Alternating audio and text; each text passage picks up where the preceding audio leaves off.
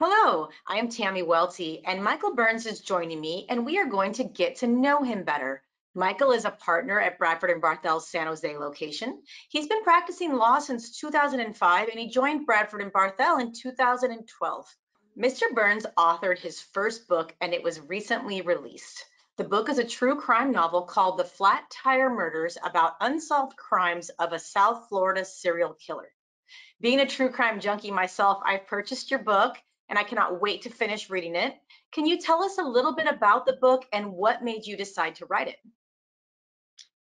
Yes, the book is a uh, comprehensive study of a series of uh, murders that occurred in South Florida in 1975 and early 1976.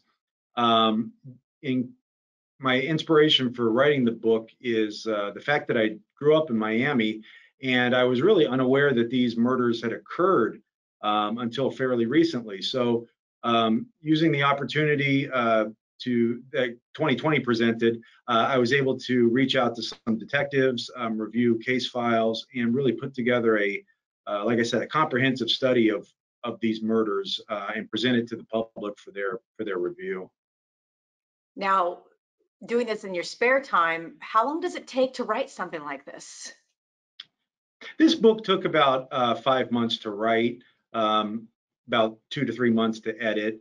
Um, and this was interspersed with, uh, of course, working full time. So I did this uh, mostly on the weekends and, and it in the evening um, during 2020. And uh, it all came together in 2021 when it was published. That's amazing. Do you think you're going to write another one?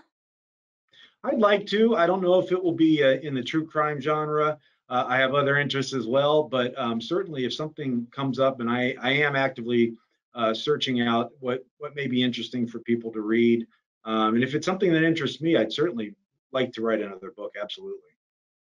Great. Congrats to you on your first book. Um, I read all about the Golden State Killer, and when he was finally caught not long ago, he was living a few minutes from my home. I really hope that your book brings justice to these victims as well. You can learn more about Michael's book in our recent blog article, and we have provided a link to the book in the details of this video. Let's move into some workers' comp stuff. What do you think distinguishes you as an excellent workers' compensation attorney? Well, I, I think that um, what distinguishes me is that I value the relationships that I've uh, forged with, with my clients, um, some that I've worked with since I started in 2012 and, and some that have just uh, just recently uh, become clients of mine. But um, no matter whether I've known them for 10 years or, or 10 days, I really uh, respect that they've reached out to our firm and, and to myself to represent them in their um, in their defense. Um, I think uh, another uh, characteristic that distinguishes me is is my responsiveness. I'm always available, um, sort of 24/7. It's never a problem for me to jump in um, at any time to, to handle uh, to handle cases or issues that arise.